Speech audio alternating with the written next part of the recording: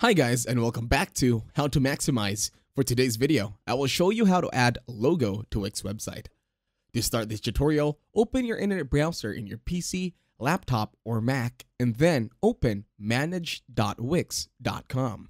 Once you are already on Wix, hover your mouse to the left side of Wix. In here, go to scroll down and then tap on settings. You can only find this when you scroll down because it will be in the bottom option. In here, wait for Wix to finish loading. And then, once you are in the new window, you will need to scroll down once again. And then look for Business Info. This one, click Business Info. Again, wait for the window to load. Once everything is loaded, all you have to do again is scroll down and then tap on Add Logo.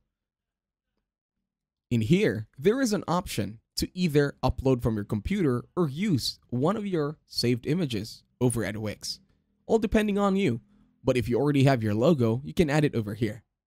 And then once you're done and satisfied with the logo that you have chosen, all you have to do right now is hover your mouse to the right side of the screen and then click the save button.